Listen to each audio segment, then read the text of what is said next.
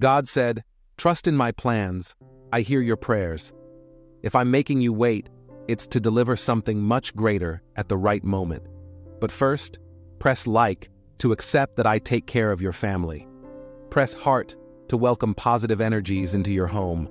Leave your amen in the comments. Save this video and share it with the people you love the most. I know that you often feel discouraged, but be patient. I won't let anything crumble. I'll only give you the cross you can bear. Don't despair. Everything will be all right.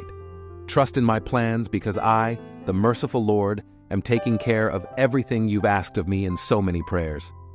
Stay strong, my child, for I know you. I know your heart and your worth. I recognize your effort and your struggle, and as your good God, I will make every minute of waiting worthwhile, putting every piece in its place and delivering to you what is yours.